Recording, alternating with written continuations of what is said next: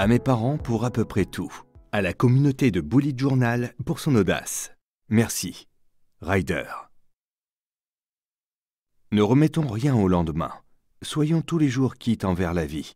Qui sut chaque jour mettre à sa vie la dernière main n'est point à court de temps.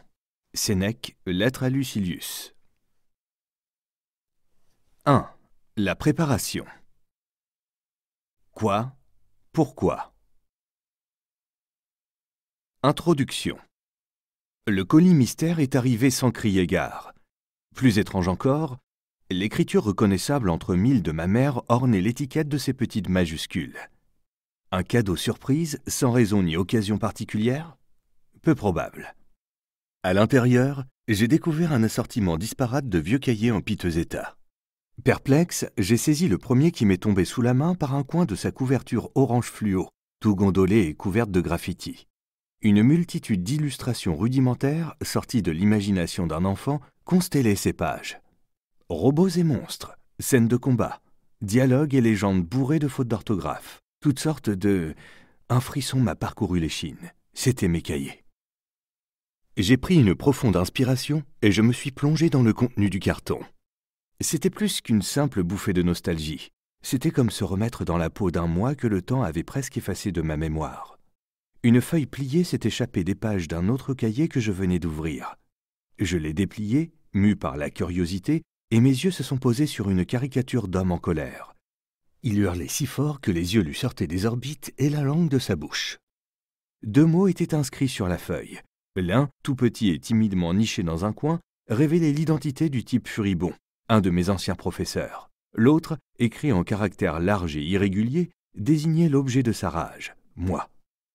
Mes problèmes scolaires ont commencé tôt, dès l'école primaire, avec des notes catastrophiques, des enseignants à bout de nerfs et des professeurs particuliers résignés. Mes résultats étaient tellement inquiétants que j'ai passé une bonne partie de mes vacances d'été à suivre des cours de rattrapage ou dans des cabinets de psychologues.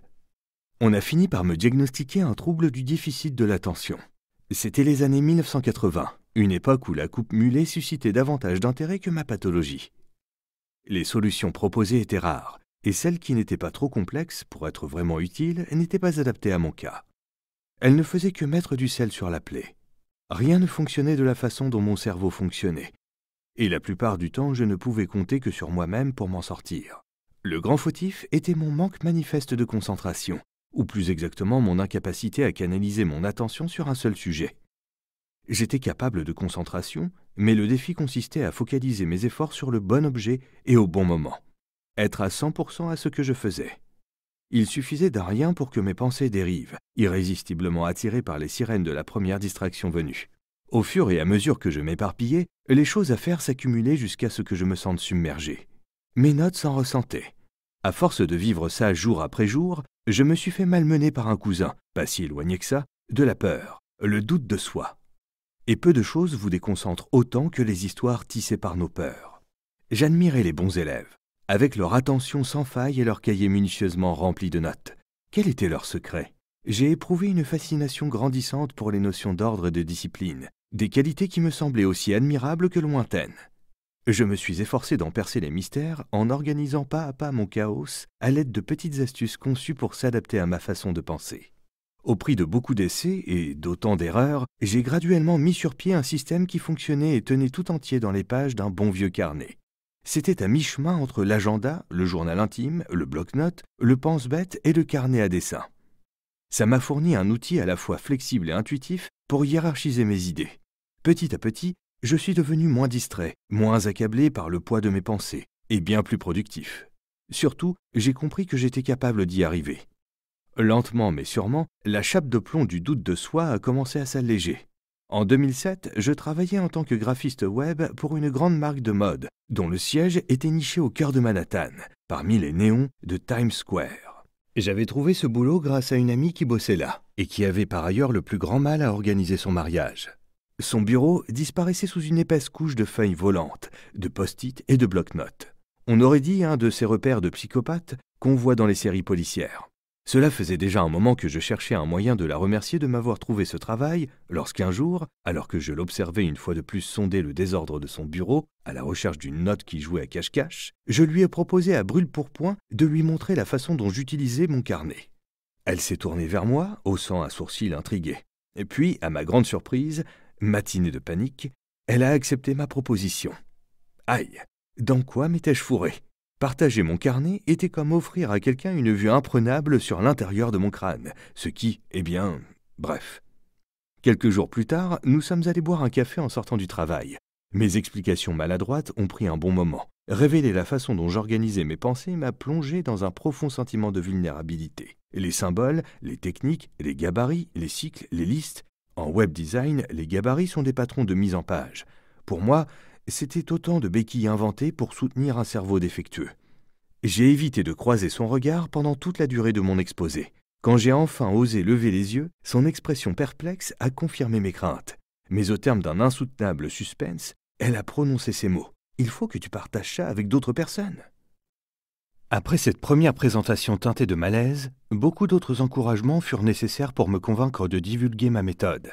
Mais au fil du temps, je me suis surpris à répondre aux questions de graphistes, de développeurs, de chefs de projet ou encore de comptables qui m'interrogeaient sur ce carnet dont je ne me séparais jamais. Certains me demandaient conseil pour organiser leur quotidien et je leur ai montré comment ma méthode pouvait les aider à consigner rapidement tâches, notes et événements à venir. D'autres voulaient se fixer des objectifs et je leur ai montré comment ma méthode pouvait les aider à se projeter dans l'avenir et à élaborer des plans d'action.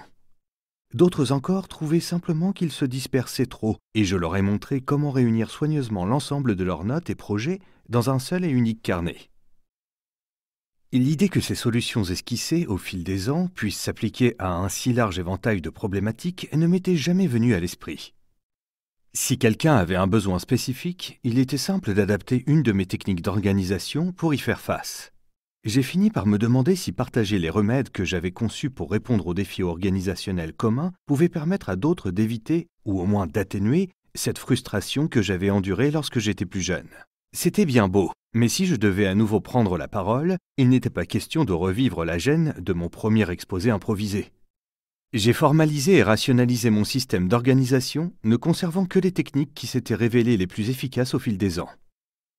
Puisque rien de vraiment comparable n'existait encore, j'ai dû inventer un nouveau langage avec son propre vocabulaire. Il devenait ainsi beaucoup plus facile d'enseigner ma méthode, mais aussi, du moins l'espérais-je, de l'apprendre. À présent, il me fallait un nom, quelque chose qui évoquait sa rapidité d'utilisation, son efficacité, son héritage et sa raison d'être. Je l'ai appelé le Bullet Journal. En anglais, Bullet signifie à la fois balle d'arme à feu et puce typographique, mais aussi solution, recette miracle, lorsqu'il est accolé au mot magic. Magic, bullet. On notera également que le TGV japonais est connu aux États-Unis sous l'appellation Bullet Train, et que le Bullet Journal doit beaucoup à la culture japonaise. Après ça, j'ai créé un site web qui proposait des tutos pour aider les utilisateurs à s'approprier la méthode fraîchement revue et corrigée du Bullet Journal. Bujo, de son petit nom. J'ai souri quand le site a atteint les 100 visiteurs uniques. Pour moi, c'était mission accomplie. C'est alors que s'est produit l'impensable. Lifehack.org a parlé de bulletjournal.com. Lifehack.org est un site internet populaire aux États-Unis dont le slogan est Aide, astuces et conseils pour améliorer la vie sous tous ses aspects. Puis lifehacker.com Lifehacker.com est un blog très fréquenté aux États-Unis, plus de 20 millions de visiteurs chaque mois, qui s'intéressent aux outils permettant de gagner du temps, d'être plus productif et d'une manière générale, de se simplifier la vie. Et bientôt, Fast Company, s'en sont fait l'écho, magazine d'affaires qui traite également de technologie. À partir de là, mon tuto vidéo est devenu viral. Le site est passé de 100 à 100 000 visiteurs uniques en l'espace de quelques jours seulement. Des communautés virtuelles créés autour du Bullet Journal, se sont multipliés sur Internet. À ma stupéfaction, des gens partageaient ouvertement la façon dont ils s'y prenaient pour surmonter des problèmes très personnels. D'anciens combattants disaient mieux vivre avec leurs troubles de stress post-traumatique grâce au journal quotidien qu'ils tenaient dans leur bojo. Des gens atteints de troubles obsessionnels, compulsifs, expliquaient leurs techniques pour mettre à distance leurs pensées envahissantes. J'étais touché d'entendre des élèves souffrant comme moi d'un trouble du déficit de l'attention racontaient comment leurs résultats scolaires s'étaient améliorés et leur angoisse s'était calmée. Dans l'univers souvent fielleux des communautés en ligne, ces gens réunis autour du bullet journal créaient des espaces d'échange incroyablement positifs au sein desquels les jugements s'effaçaient au profit d'un soutien mutuel, tous étant aux prises avec des défis différents qu'ils relevaient avec le même outil. Merci d'avoir écouté ce livre audio. Vous pouvez écouter la version intégrale du livre en suivant le lien dans la description.